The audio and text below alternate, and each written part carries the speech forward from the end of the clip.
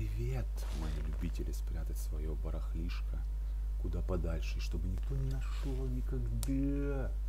Сейчас я вам покажу еще одну секретную комнату, точнее вход в нее.